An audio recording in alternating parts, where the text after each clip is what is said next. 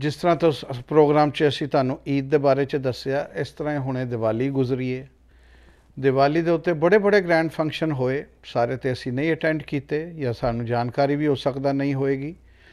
ਲੇਕਿਨ Rajasthan society of Canada ਨੇ ਇੱਕ ਫੰਕਸ਼ਨ ਕਰਾਇਆ ਬ੍ਰੈਂਪਟਨ ਦੇ ਵਿੱਚ a very warm and very nice function ਕਿਉਂਕਿ ਬੱਚਿਆਂ ਨੇ ਇਹ 'ਚ ਭਾਗ ਲਿਆ ਔਰ ਬਹੁਤ ਅੱਛੇ ਤਰੀਕੇ ਨਾਲ ਇਹਨੂੰ ਨਿਭਾਇਆ ਅਸੀਂ ਚਾਹਾਂਗੇ ਉਹਦੀਆਂ ਕੁਝ ਝਲਕੀਆਂ ਤੁਸੀਂ ਇੰਜੋਏ ਕਰੋ and we wish 올 the kids and their families a very very happy Diwali once again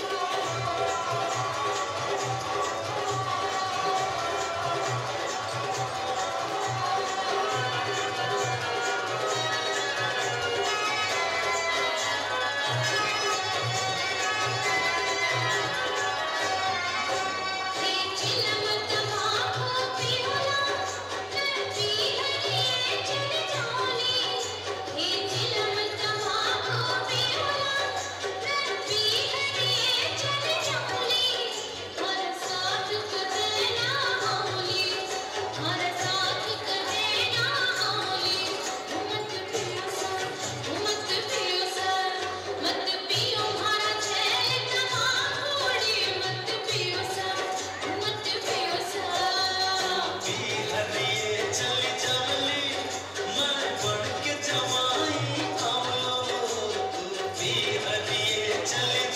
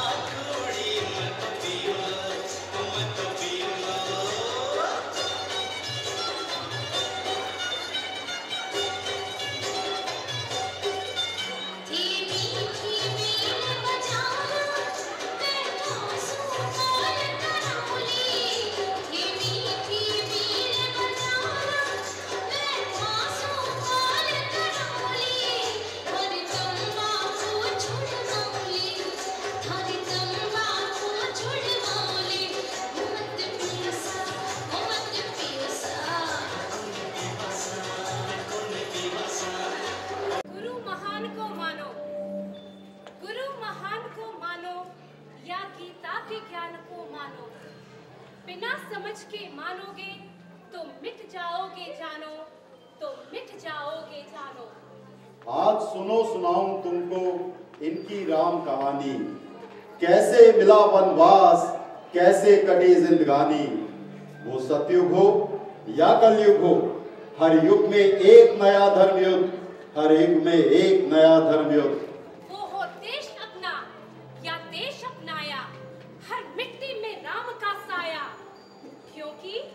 हर नर में है राम, हर नारी में है सीता, हर नर में है रावण कहीं, हर नारी में कैकई ये तिथि सब जन कर लो याद, दिवाली पर हुई संपूर्ण। वो कहानी जो शुरू हुई थी कई वर्ष पूर्व। हर सुख वो ही पाता जिसके भाग्य में राम गाथा। मैं भक्तों का भक्त नाम मेरा हनुमंत। जिस धनुष के प्रताप से चौका था ब्रह्मांड उसे तोड़कर दिया समाप्त रघुवीर ने एक कांड तर तर तर तर की गूंज से हिल गए तीनों लोग। मैथिली के जीवन में गुनगुनाया था। मीठा एक श्लोक मीठा एक श्लोक मीठा एक श्लोक।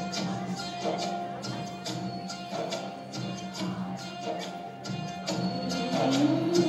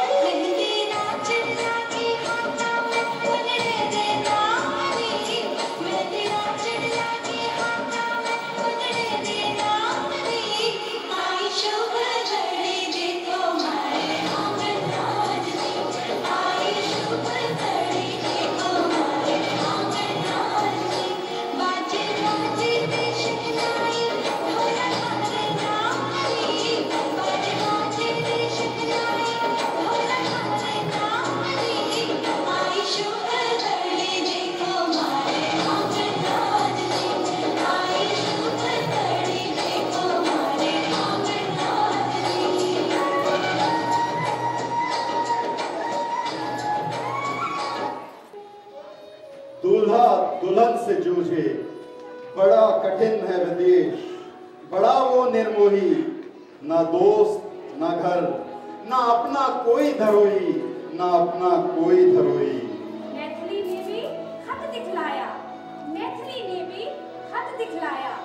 रघुवीर को ये समझाया, हर दुख से बड़ा दुख, पति से अलग रहने का दुख। पति के बिना जीवन में नहीं कोई सुख, नहीं कोई सुख।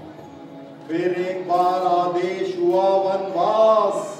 फिर एक बार आदेश हुआ वनवास। क्या कहे रामायण सीता चले वनवास। बिल्कुल जैसे राम और सीता, राम और सीता।